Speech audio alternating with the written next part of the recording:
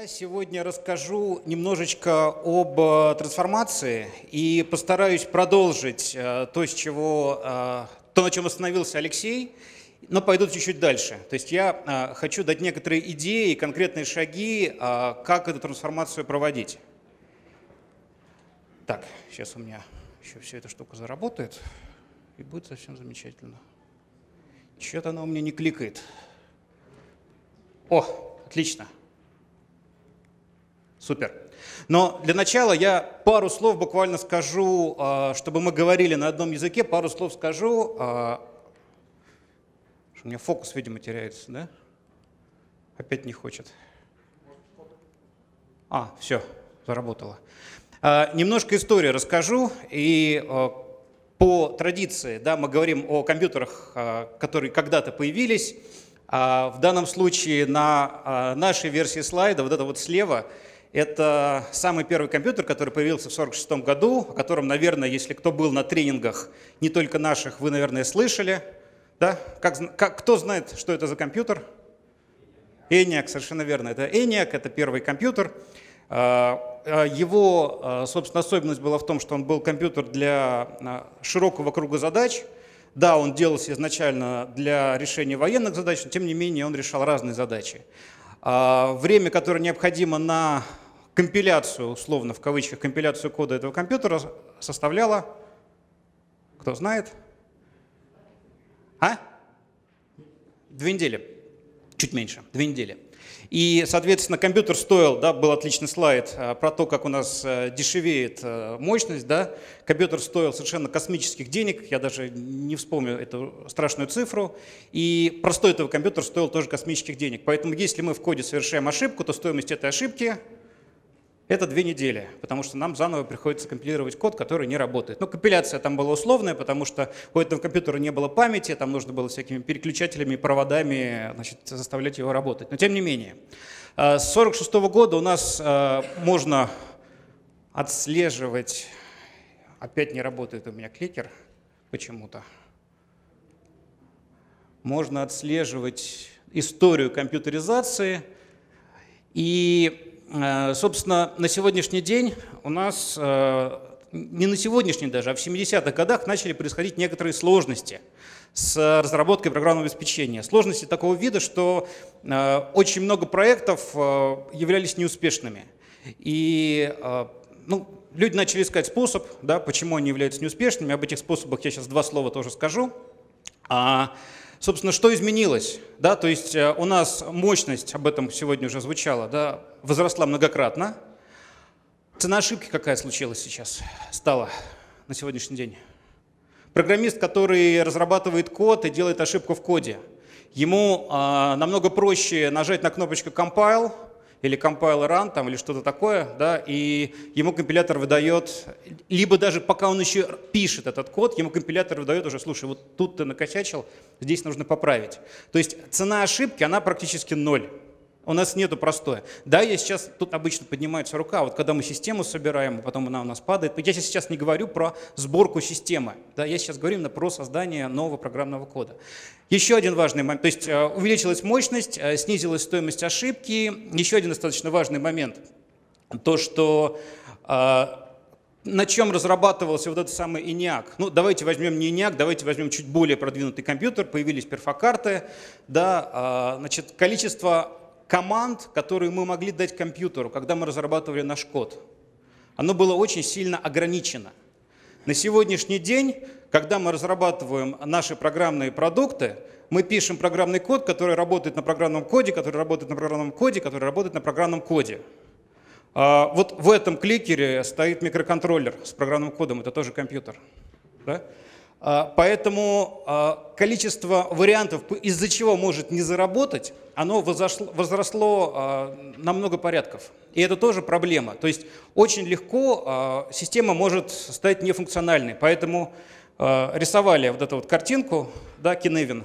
То есть мы сейчас находимся в той части Э, развития, где нам нужно проверять. Нам нужно строить гипотезы и проверять, работает оно или нет. И это тоже одна из причин, почему все поменялось и почему появились новые подходы.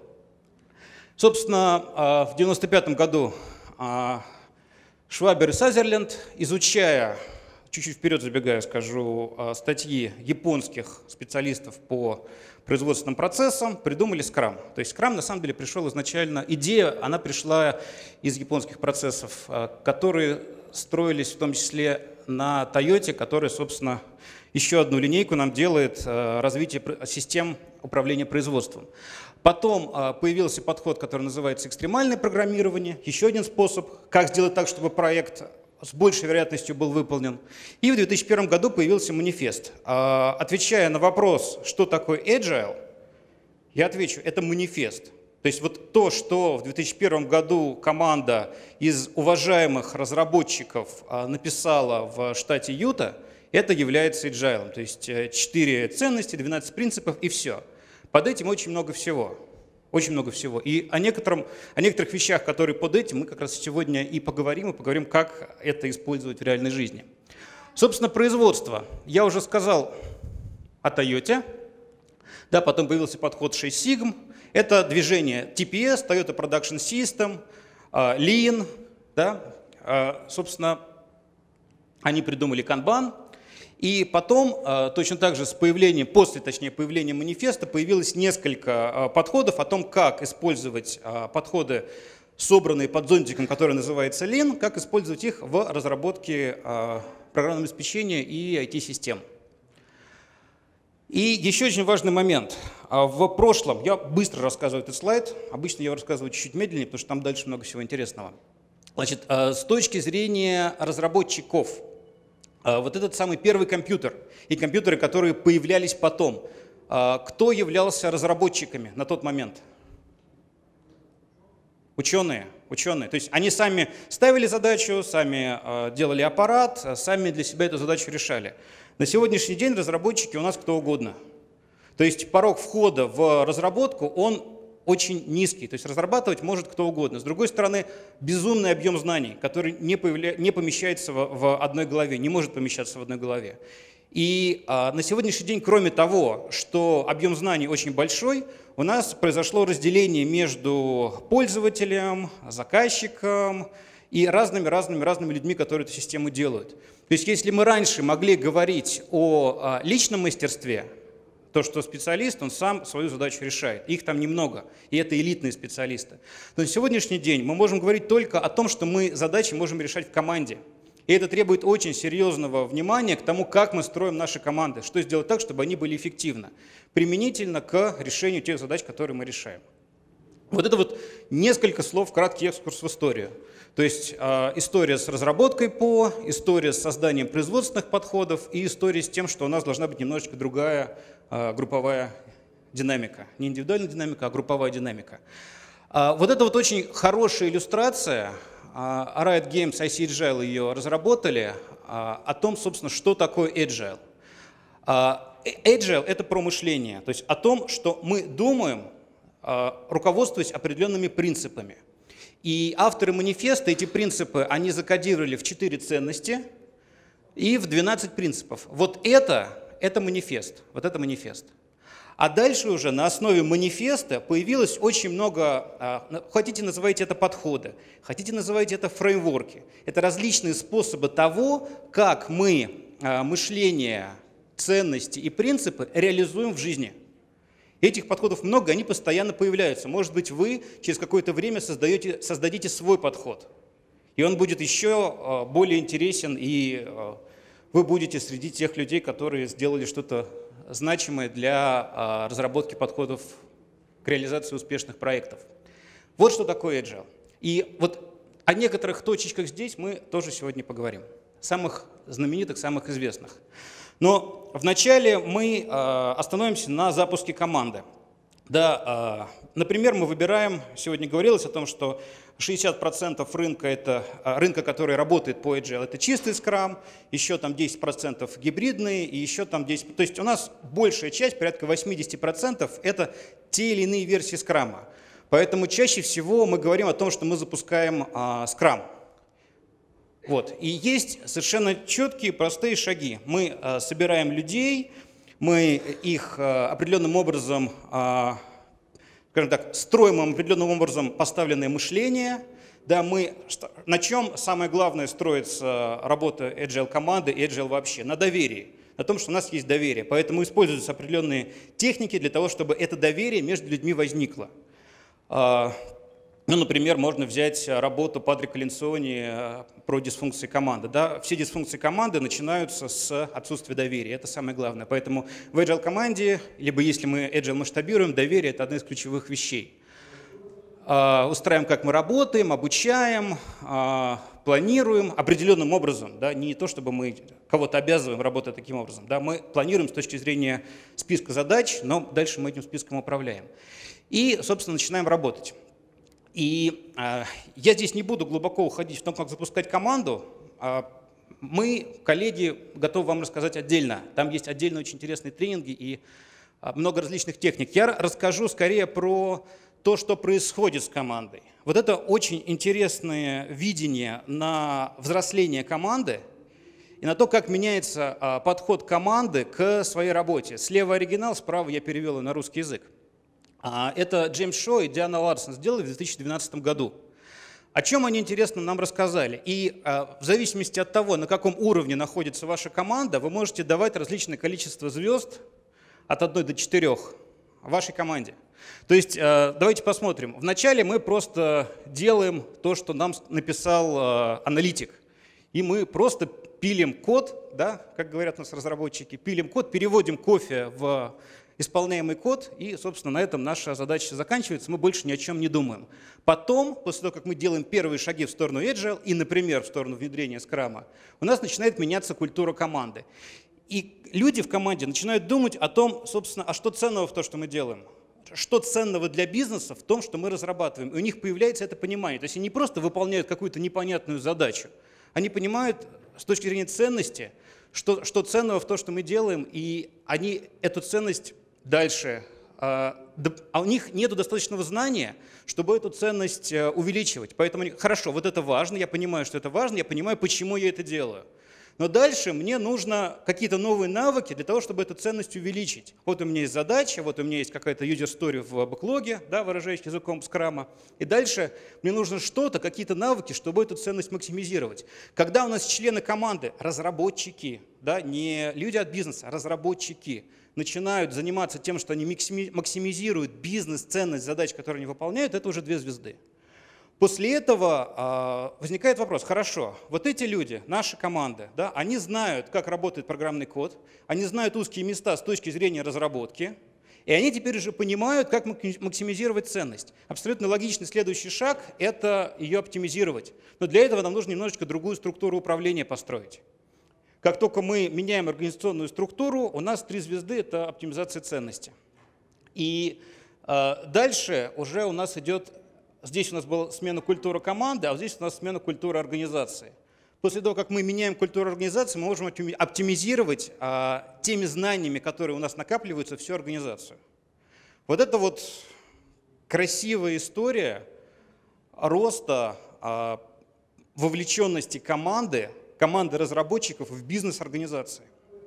И она абсолютно реальная, а этот путь можно и нужно проходить. Но это с точки зрения а, команды. А дальше мы говорим, хорошо, а как этого достичь? Какие сервисы наша организация должна а, использовать для того, чтобы, собственно, это все происходило? Ну и а, обращаясь к различным наработкам. Да, давайте сначала посмотрим, собственно, в чем проблема, какую проблему мы решаем. А, тот же самый отчет, который приводился, State of Agile Version 1. А, мы запустили одну-две команды, и у нас проблема. Не идет а, масштабирование Agile на уровне организации. Вот этот вот опрос компаний, у которых возникли проблемы, и вообще всех компаний, да, говорит о том, что следующая проблема, которую нужно решить, это смена точнее, невозможность сменить организационную культуру. Да, давайте посмотрим, что нужно сделать для того, чтобы начать менять организационную культуру. Следующий вопрос – это связано с тем, что недостаточно персонала, который знает, как работает Agile. То есть я где-то вот что-то услышал, но я не знаю деталей. То есть нужно знать, действительно нужно знать, причем чем больше у вас таких людей, тем лучше, об этом я пару слов скажу. Да, нужно обязательно знать, как эта штука работает а не просто мы сейчас вот работаем как хотим, у нас хаос, это мы называем agile, это не agile. это хаос. Да? Есть определенные правила, которые нужно соблюдать, тем не менее. Так вот, э, и меняем организационную культуру, увеличиваем количество персонала, и у нас здесь еще сопротивление к изменениям, да, 34%. И у нас здесь еще существующая э, старая технология, которая мешает, которая сопротивляется, которая не дает э, себя заменить новыми подходами. Вот эти задачи мы решаем. А как вы считаете, какие подходы больше всего вот эти вот задачи решают? Что нужно сделать? Идеи какие-нибудь есть?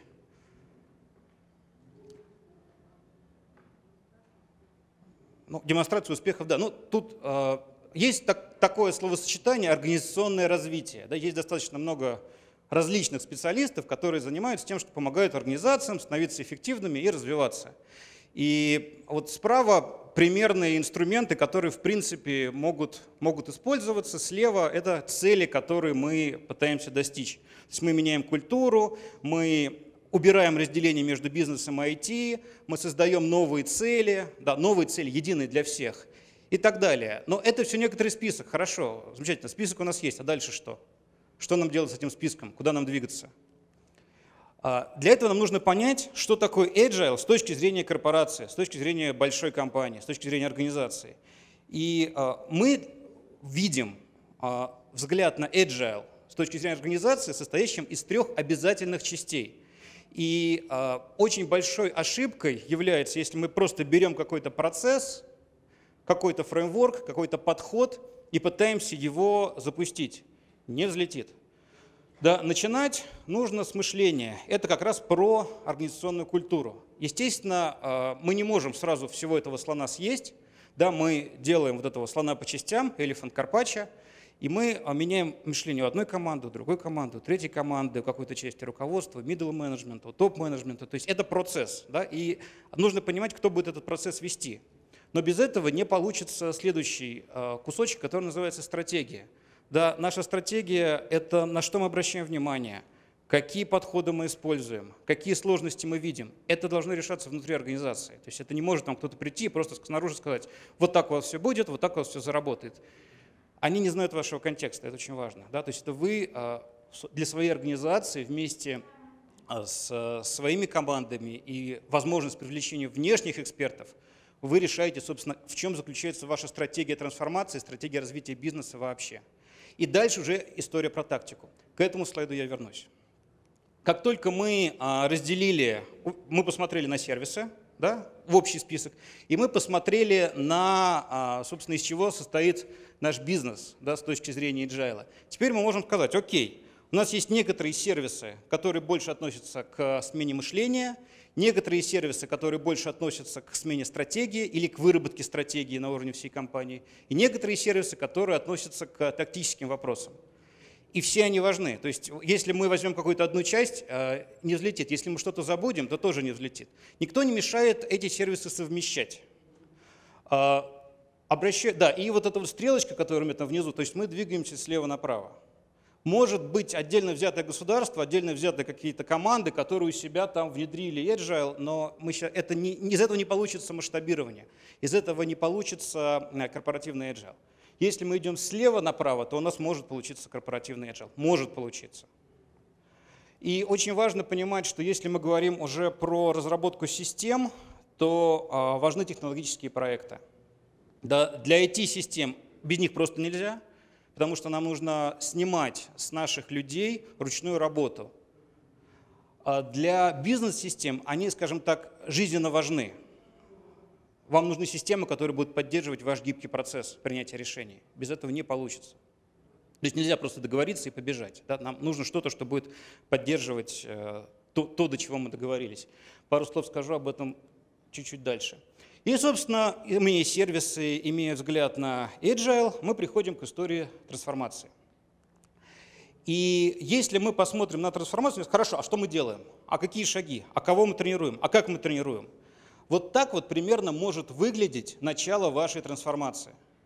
То есть а, для начала нам нужно создать единое понимание, единое мышление. Что такое agile? На уровне всей компании. Речь не идет только о топ-менеджменте, речь не идет только об IT, речь идет обо всей компании. И э, такие мероприятия э, могут проводиться там от 5 до там, 150, 200, 300 человек. Это абсолютно нормально, потому что люди должны в организации понимать, что это такое, как это работает. После этого мы обязательно должны, ну, спонсоры понятно, да, это люди, которые от руководства поддерживают наши изменения. Очень важный вот это вот следующий кружочек – агенты изменений.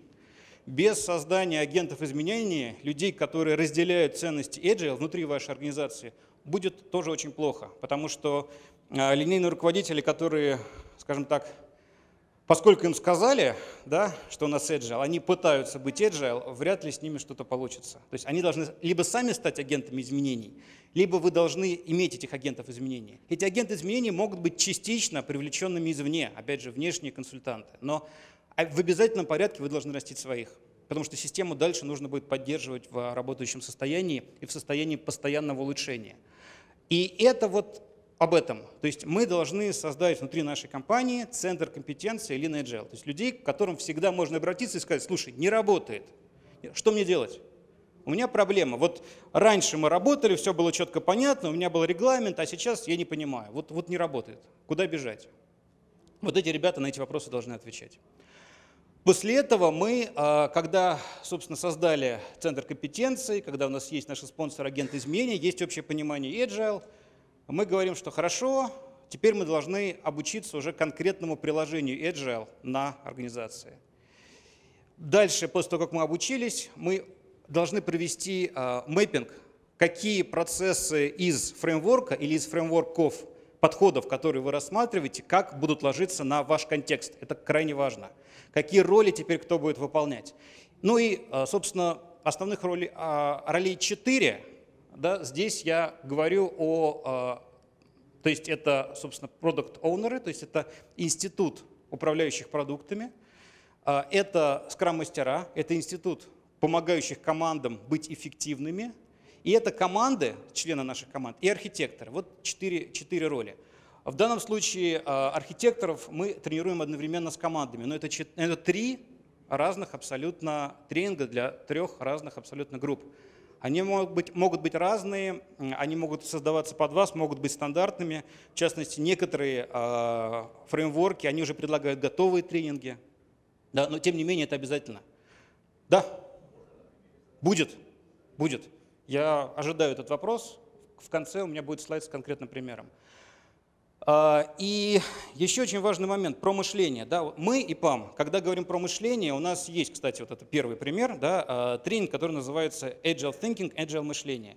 А, мы закодировали принципы Agile в 6, 6 принципов Agile мышления.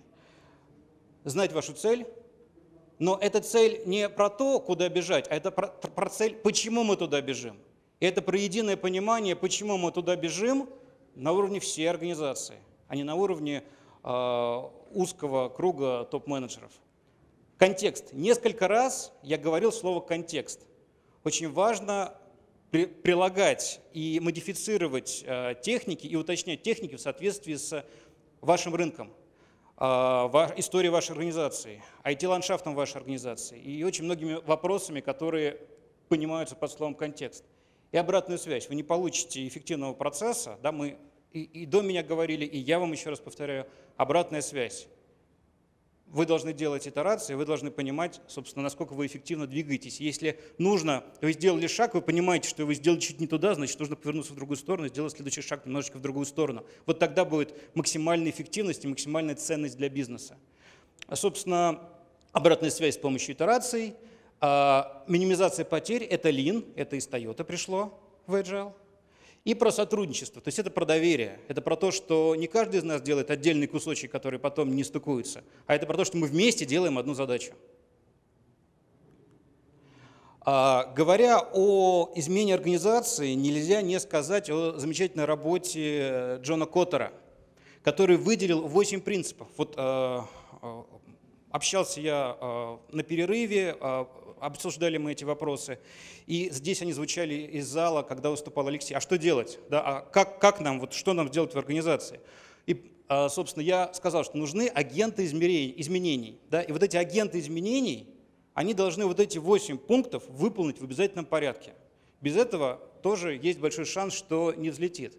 И видите, ощущение срочности. То есть если это нам нужно вообще, то можно не начинать. Нам это нужно сейчас. Почему? Потому что наша компания потеряет бизнес. Потому что появится новый Uber, там новый еще кто-то, и мы уже станем не нужны. К нам приходят компании, бизнеса, которые говорят, слушайте, мы понимаем, что вот да, сейчас у нас все более-менее хорошо, мы лидеры рынка, но завтра нет. Завтра мы понимаем, что кто-то придет из молодых, горячих, работающих по технике Lean Startup, да, книжка называется «Бизнес с нуля» на русском языке. И они нас обгонят. Поэтому давайте мы сделаем это изменение. Да, это не просто, да, это болезненно, но еще болезненнее, если мы все останемся без работы. А, мощная коалиция, единое понимание цели, видите, повторяется немножко. Сотрудники принимают решения по-новому. Да, хорошо, у нас agile, но старые регламенты. Замечательно. Не взлетит. То есть у людей должно быть, а, понимание, они должны быть натренированы, как это работает, и, б, автономия для того, чтобы решения принимать по-новому. Если мы людям не даем возможность принимать решения уже в соответствии с новым мышлением, в соответствии с новыми ценностями, ну, вряд ли у нас эта трансформация будет успешной. Обязательно положительные результаты, ярко показывать, да, что вот смотрите, вот это наши успехи, вот это позволяет нам двигаться вперед. И в корпоративной культуре, и, собственно, это помощь трансформации корпоративной культуры – использовать э, победы и укрепить новые подходы в культуре, используя, собственно, победы, которые у нас есть. Вот 8 ключевых пунктов. Э, есть много достаточно литературы. Рекомендую, собственно, саму статью. Это небольшая статья, это не толстая книжка Коттера на тему э, лидирования организационными изменениями. Все достаточно просто и понятно. Теперь несколько слов скажу про фреймворки, которые на текущий момент наиболее востребованы и из которых мы зачастую собираем различные подходы для организаций, для повышения их, их эффективности. А здесь уже звучал подход, который называется Scrum, который больше всего используется. У меня чуть-чуть другая картинка. Я люблю рассказывать про то, как э, ограничивать размер команды. Есть такой термин «тупица». Тупица тупица. Да? Это количество людей, которых можно накормить двумя пиццами. Это 9 человек максимум. Ну, вообще 8. А если продукт оунер и скроммастер не участвуют в разработке, потому что бывают команды, в которых эти ребята каким-то образом, ну, скроммастер в частности может быть играющим разработчиком, да, то мы их не считаем. Продукт оунер конечно, в разработке участвовать по-хорошему не должен. А Планирование, ежедневные встречи, дальше мы демонстрируем и обсуждаем, что мы сделали, и обязательно ретроспектива цикла непрерывного улучшения. То есть, как уже здесь говорилось, ролей три. Продукт Owner, я к этому вернусь еще в масштабе организации, это очень важно. Да? Здесь у нас три роли в команде в скраме. Продукт Owner, скрам-мастер и команда разработки. Есть подход, который называется канбан. С ним чуть-чуть сложнее, потому что э, в скраме все э, принципы, артефакты, мероприятия, ритуалы, которые мы проводим в скраме, они очень четко связываются с манифестом и с agile мышлением, да, про который мы рассказываем. С канбаном чуть сложнее, потому что канбан это про визуализацию, это про оптимизацию с точки зрения снижения количества задач, которые у нас находятся в разработке. А, но всего остального на доске нету. То есть некоторые вещи, которые обязательны в agile, вот если мы просто посмотрим на доску, мы их там можем не увидеть. И это некоторый риск э, строить не agile. То есть тут был вопрос, а можно ли водопад по канбану? Можно. Можно водопад по канбану, без проблем. Поэтому э, здесь можно сказать что? Что э, agile, lean в себя впитал. Но некоторые э, подходы внедрения Lean не являются agile. Вот это очень важно понимать. То есть мне знакомы примеры внедрения Lean техник и Lean подходов, подходов, которые позволяют минимизировать издержки, которые глубоко демотивируют команды, разработчиков, там, подразделений и так далее.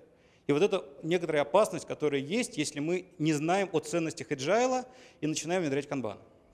Да, поэтому рекомендую на это обращать внимание. Еще есть один очень интересный вывод, когда мы э, говорим про канбан. Классическая школа менеджмента учит нас тому, что мы должны максимально загружать людей работой, и это позволяет нам максимизировать э, эффективность нашей компании. Это неправда с точки зрения Lean. Потому что самая большая потеря с точки зрения Lean, кто знает, что такое? Что такое с точки зрения Lean самое большое зло? Waste, waste. Многозадачность – это следующее зло, это второе зло. А первое зло – это незавершенное производство. То есть э, waste, потери, с точки зрения тойотовцев, самая главная потеря, из которой проистекают все остальные потери, это незавершенка, незавершенное производство. Так вот, если вы много задач в эту систему заталкиваете, но у вас количество выхода из этой системы, оно меньше, то есть у вас много задач зависает, там у вас 100% э, задач в состоянии 98% дан, и вот это вот 98% дан, оно длится вечно. То есть вы создали безумное количество незавершенного производства, в которое ваша компания инвестировала, но результат не получил, возврата инвестиций нету. Это что значит? Что мы теряем деньги. Так пусть лучше они отдыхают, пусть лучше у них будет более короткий сегодня рабочий день, но давайте не будем создавать незавершенное производство. Финансово нашей компании это выгодно. Вот а, эксперты Lean и Lean-агенты изменений, они эту историю знают. Но классическая школа менеджмента зачастую эту историю игнорирует. Ее нужно очень хорошо понимать. Это очень важно. А, делать лимиты на те, то количество задач, которые эта система обрабатывает для каждого шага. Вот тогда мы максимизируем уже а, ценность и максимизируем и финансовую эффективность нашей организации в том числе. Это история про канбан. Дальше возникает вопрос. Хорошо, построили по скраму команду, а, либо по канбану построили команду с необходимыми атрибутами agile, а, типа цикла непрерывного улучшения, типа ретроспектив и так далее. Да? Что дальше? Нам нужно ее масштабировать. Есть несколько подходов, которые позволяют это делать. Если у нас все команды работают по скраму, и это количество команд а, в сумме не превышает 70-80, у нас есть опыт 150 человек, то можно использовать подход, который называется Nexus. Все достаточно просто. Что они, это подход, который, собственно, Scrum.org, те люди, которые являются одними из основных проводников скрама, да, а, предлагает использовать для масштабирования скрама. Это один из способов масштабирования скрама. Так вот, что они сделали? Они сказали, хорошо, у вас работают команды, но давайте мы еще сделаем общий перечень задач, общий перечень задач. И давайте у нас будет еще отдельные мероприятия и отдельные люди, которые будут заниматься интеграцией, которые будут обеспечивать то, чтобы эти команды бежали одновременно и в одну сторону. И эта штука хорошо работает. То есть я еще раз говорю, у нас есть пример внедрения а, Nexus на 150 человек. В принципе, где-то 70-80 человек считается более-менее оптимальным для подхода, который называется Nexus. Хорошо, если у нас 1000, что мы будем делать? Если у нас тысяча, то есть подход, который называется Scaled Agile Framework, который э, с виду немножечко пугает своей сложностью, но если вы э, сейчас свою организацию примерно в таком же виде нарисуете, у вас может быть еще более насыщенная картинка. И э, никто не говорит о том, что обязательно использовать все атрибуты. То есть вы можете использовать часть атрибутов.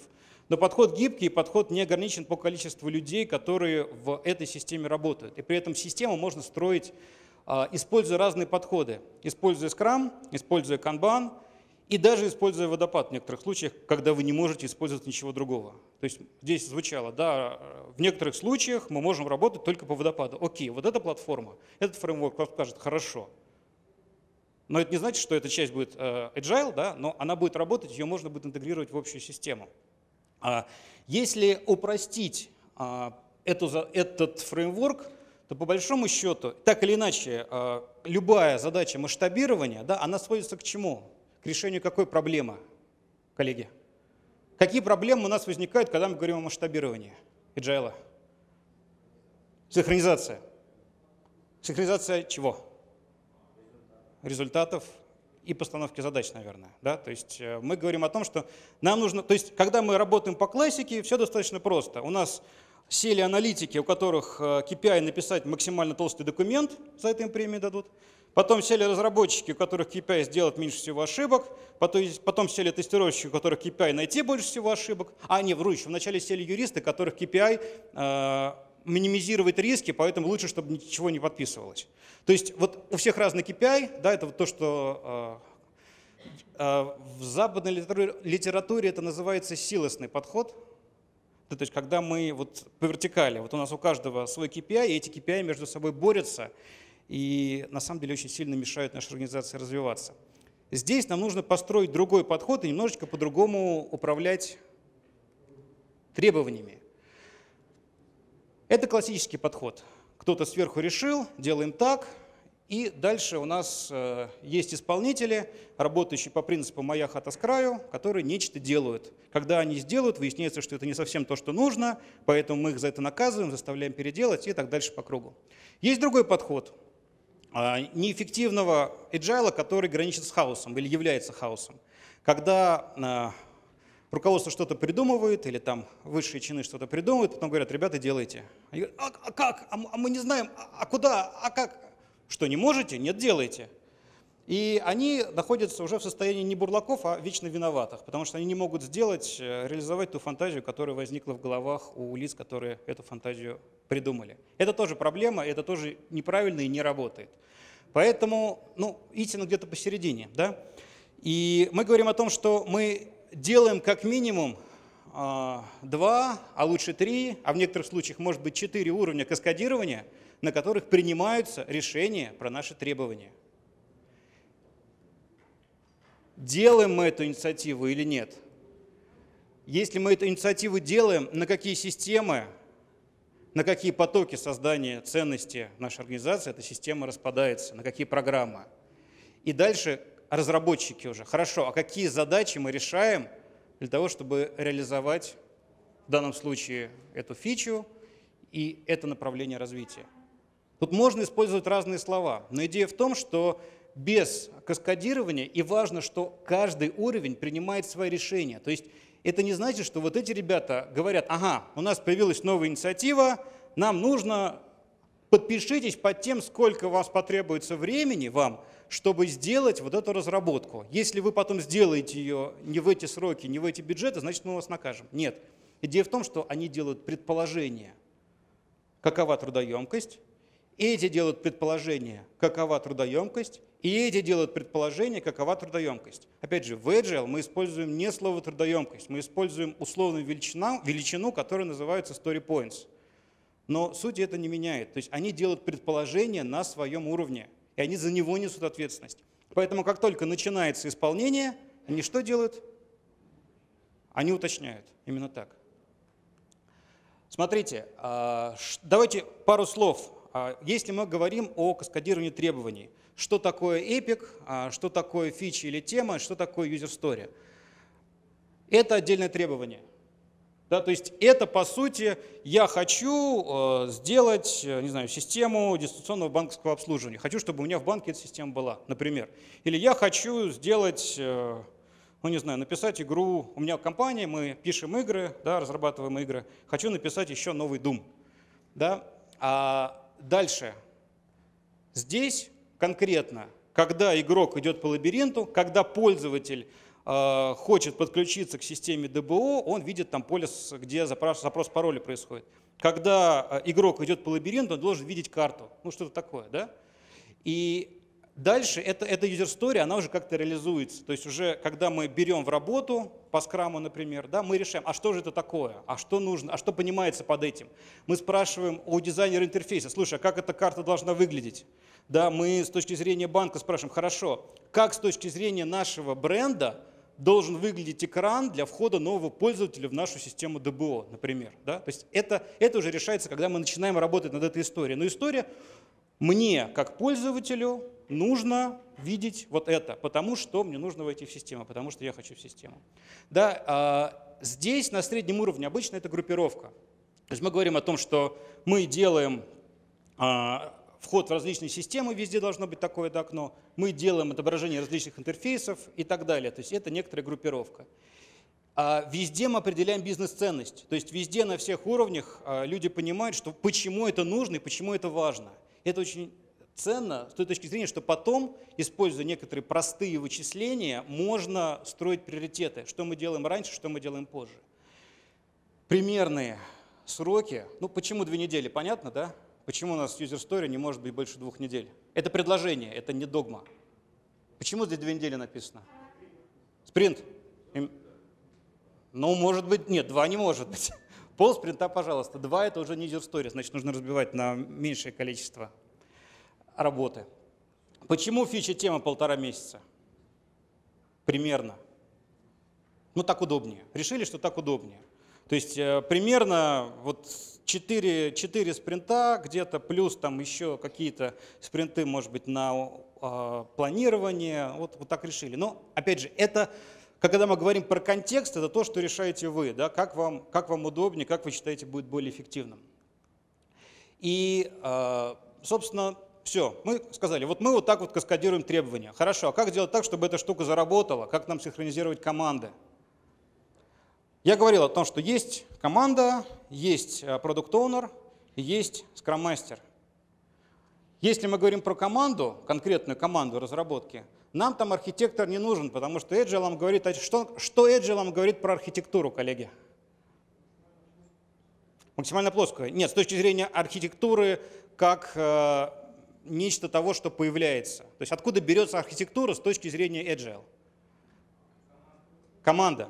То есть Agile говорит о том, что архитектура появляется из команды, то есть члены команды создают архитектуру. Architecture emerges, да, вот что написано в манифесте. Поэтому на уровне команды нам архитектор не нужен. А вот дальше, когда возникает история синхронизации, да, нам нужен архитектор, но у него задача другая. Он не говорит командам, какую архитектуру они должны строить, он занимается синхронизацией. Он занимается тем, чтобы команды с точки зрения архитектуры следовали правилам, которые они вместе все определили. Вот это очень важно. И на уровне всего портфеля точно так же нужен какой-то верховный архитектор, который синхронизирует уровни программы. Здесь звучала история про то, что хорошо, у нас юзер-дизайнер, они нам не нужны постоянно, нужны они в команде или нет. А нужны ли нам люди, которые поддерживают э, сборку релизов? А нужны ли нам люди, которые обслуживают системы?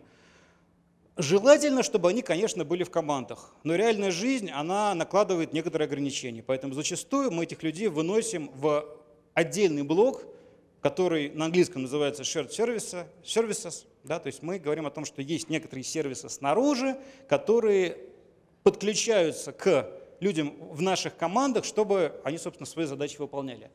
Вот это вот очень просто с точки зрения того, как, с одной стороны, смотрите, мы каскадировали требования – а с другой стороны, мы развернули наш agile подход на уровень всей нашей организации. Вопросы здесь какие-то есть?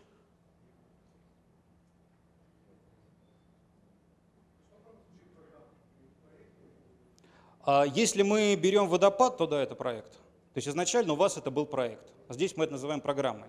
Здесь тоже звучало в начале. Если мы говорим про agile, то это у нас постоянно работающие команды. Поэтому у нас появляются эпики, которые потом доходят до команд. Но они постоянно работают. То есть мы их не собираем под проект, не распускаем после окончания проекта. Поэтому у нас в Agile, сейчас я увидел, а, в Agile у нас немножечко по-другому строится финансирование. Мы финансирование выделяем на размер или количество этих самых команд. То есть если мы в водопаде загружаем этот грузовик деньгами, где-то его прячем до того момента, пока все не сделаем, а потом мы его выкатываем или не выкатываем, то с точки зрения agile это вентиль, это вентиль финансовый. Я его могу побольше открыть, я могу поменьше открыть. Ага, вот там бизнес пошел, на рынке. Значит, мне туда нужно инвестировать больше. Перенаправляем, открываем побольше. Все, вот это вот финансирование, бюджетирование с точки зрения agile. Вопрос.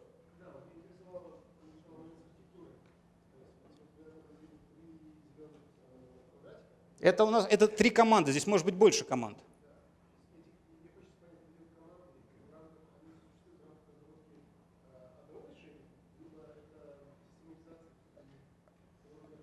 это архитектура вашей системы управления. Это может быть и так, и по-другому. То есть э, бывают кроссфункциональные команды и кроссфункциональные программы. Бывают э, программы, которые конкретную систему разрабатывают внутри вашей организации. Это вопрос архитектуры вот этой всей истории, масштаба.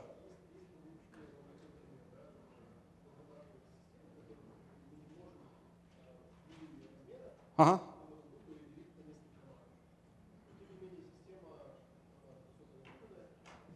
Вопрос синхронизации включается. Синхронизация, вопрос синхронизации. То есть вам нужно командой синхронизировать. Потому что у вас появляется... В чем проблема возникает? В том, что команды, они вроде как независимые, обладают автономией, они сами принимают решения. А вам нужно, чтобы то, что они сделали, в итоге становилось единым решением.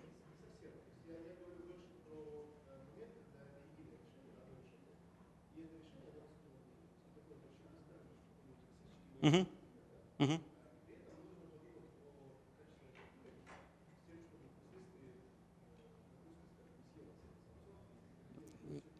Это не отменяет наличие у вас архитектурного комитета.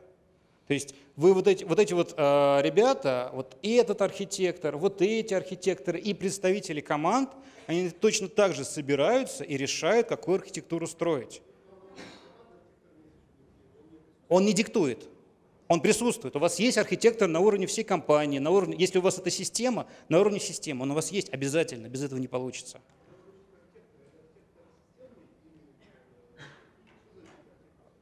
У вас может быть разные виды архитекторов.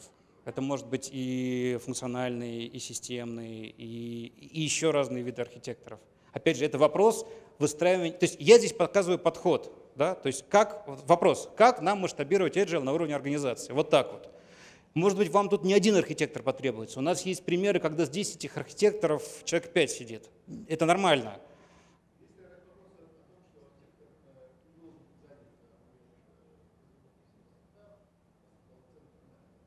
Нет, архитектор не является э, разработчиком, естественно. Мы привлекаем, э, то есть если у нас есть э, в командах ценные люди, которые вносят вклад в развитие и создание архитектуры, мы их привлекаем к этому процессу.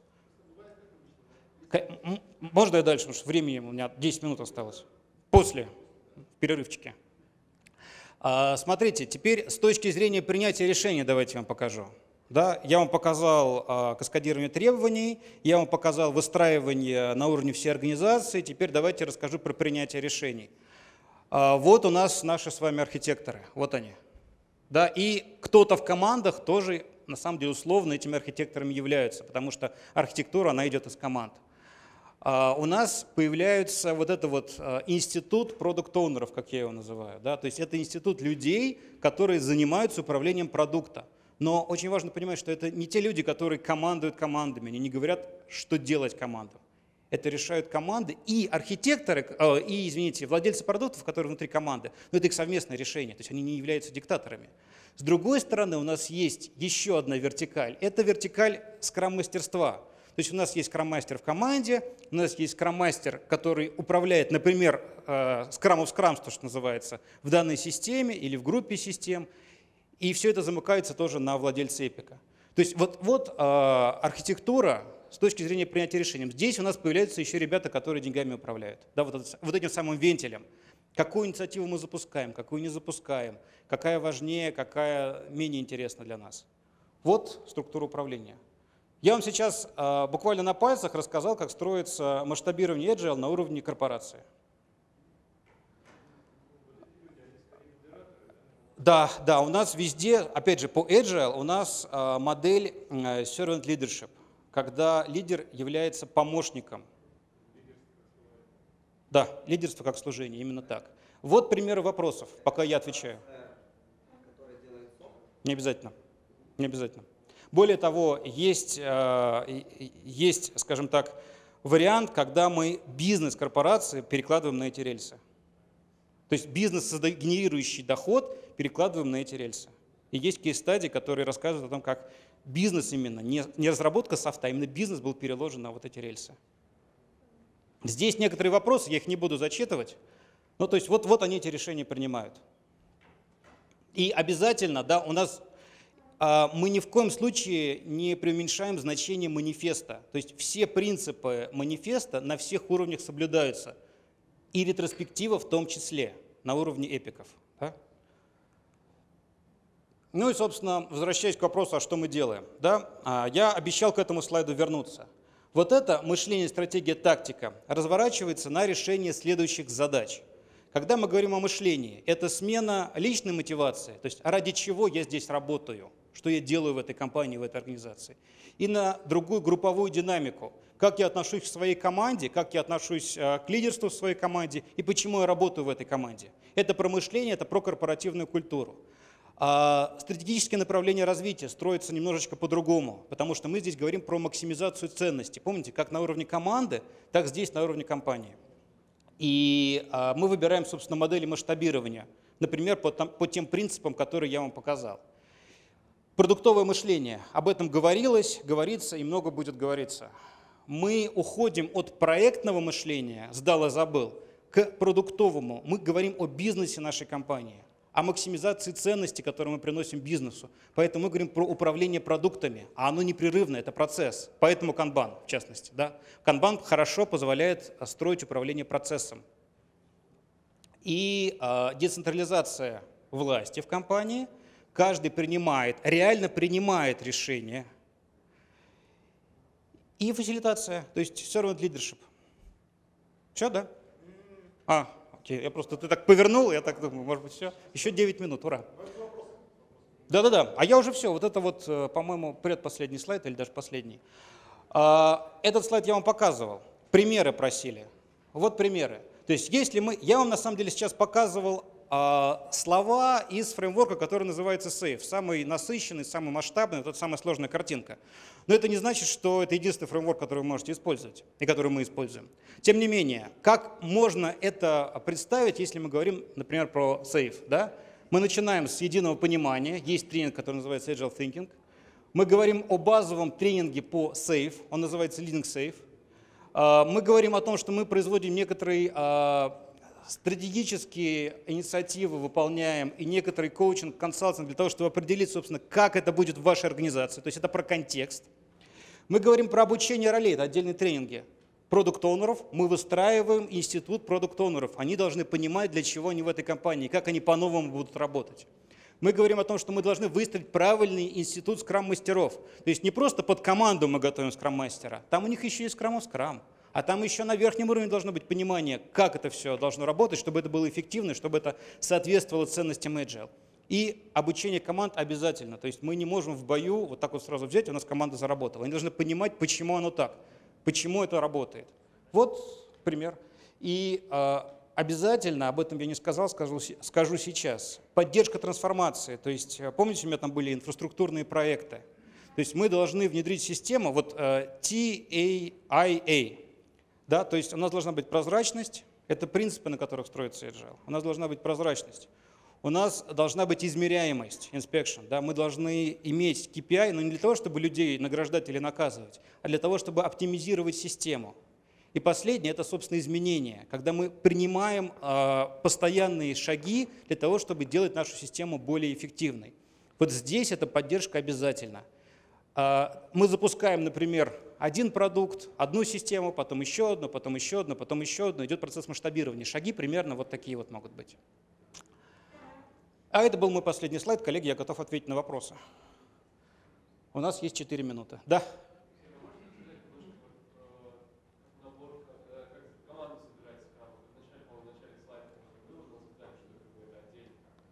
Ну, не сейчас, просто э, запуск скрама – это отдельный тренинг. Здесь можно сделать выступление еще часа на два про это. Потому что это, начиная от того, как мы рассказываем про agile членам команды, про конкретную роль, то есть можно, нужно, можно и нужно много говорить про роль скрам-мастера, про то, а, как люди думают в команде, чем они мотивируются, про то, чем занимается продукт про то, как мы управляем бэклогом, про то, какие, если мы про скрам говорим, да, то про то, какие мероприятия они производят. Просто это много, сейчас в двух словах точно не расскажу.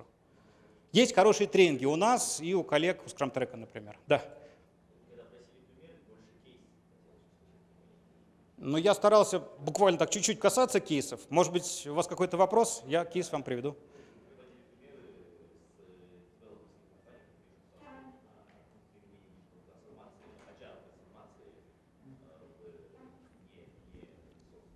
Я вам скажу так, в России а, есть компании, которые изначально строились по Agile, небольшие, айтишные, продуктовые, которые целиком работают по Agile. Но это небольшие компании. Если мы говорим про большие компании, в России законченного примера трансформации бизнеса, ой, извините, бизнеса нету. Есть в мире интересные примеры, есть хорошие кейс-стадии, можем с вами пообщаться, я вам пришлю несколько описаний. Но это западные примеры. В России пока таких примеров мне неизвестно. Как только они появятся, буду рад рассказать. Компании, которые изначально строились по Agile или которые стали Agile, но это компании, которые какой-то отдельный IT-продукт делают или семейство IT-продуктов и продают его на рынке. Ну, это немножко... То есть айтишникам проще, да, компаниям, которые на IT-рынок э, каким-то образом работают. А вот если мы говорим про чисто бизнесовые компании, есть небольшие, больших пока я... Ну, мне неизвестно. Но есть много компаний, которые по этому пути идут, идут успешно. И мы с такими компаниями тоже работаем.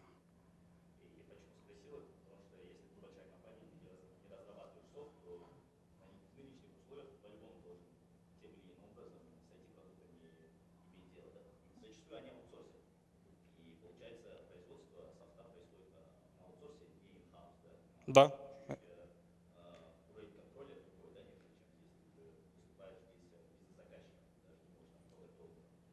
Окей. Okay. Ну, мы являемся вот той самой компанией, которая занимается этой самой разработкой. То есть мы выступаем в роли компании, который, которую э, продукт-оунеры да, говорят, что вот мы хотим, чтобы нам сделали такой-то продукт. И мы, как ИПАМ, этот продукт разрабатываем и строим нашу работу, если заказчик не против. Да, бывает против. Бывает, говорит, нет, вот ТЗ, там все, да. Да если он говорит, окей, я хочу быть эффективным, расскажите мне, помогите мне как. Мы строим в том числе по этим принципам, это прекрасно работает. Но рычаги управления, они действительно другие. То есть рычаги управления, опять же, из манифеста, да, а, сотрудничество важнее условий. И а, в сотрудничестве как? Вот я а, на вас работаю, если вам не нравится, как я работаю, вы меня говорите, все, вот мы с тобой работать больше не хотим. А по старой классике э, ты мне сделай, я потом тебе скажу, что ты сделал неправильно, и тебе за это не заплачу. То есть подход другой, но рычаги управления у вас в любом случае есть. Просто они другие, их нужно, им нужно научить людей, э, если мы говорим о переходе, о трансформации, этим рычагам нужно научить. Это делается без проблем. И у нас есть более того же готовые системы, которые сделаны, чтобы эта прозрачность была, чтобы эти рычаги были у вас, как у заказчика. Да. Наша компания связана со строительной деятельностью, и у нас очень много дедлайнов, которые мы должны соблюдать. Позволяет ли метод agile какие-то ставить, э, планировать сроки? Да. Допустим, вот традиционный метод критического пути да, позволяет э, вычислить, скажем, максимальный срок, который займет проект. А в случае agile есть ли методы планирования по срокам? Есть методы планирования по срокам. А, если мы говорим про масштабируемый agile, вот здесь вот есть а, вот такой вот квадратик, на котором написано milestones. То есть да, есть, но есть разница. Если в классическом подходе убейся, но сделай, то в Agile мы говорим о том, что мы фиксируем дедлайн, но мы управляем а, тем, что мы делаем в процессе. То есть почему продукт онер у нас в команде? Потому что он управляет той ценностью, которая появится в конце. Но это ни в коем случае не отменяет э, примерное планирование, это ни в коем случае не отменяет примерное бюджетирование, и это ни в коем случае не отменяет дедлайны, потому что все понимают, что есть рынок, есть какие-то мероприятия, есть маркетинговые программы, и вы должны им соответствовать. Вопрос, как мы это делаем, насколько эффективно. А, у меня время закончилось. Спасибо вам большое.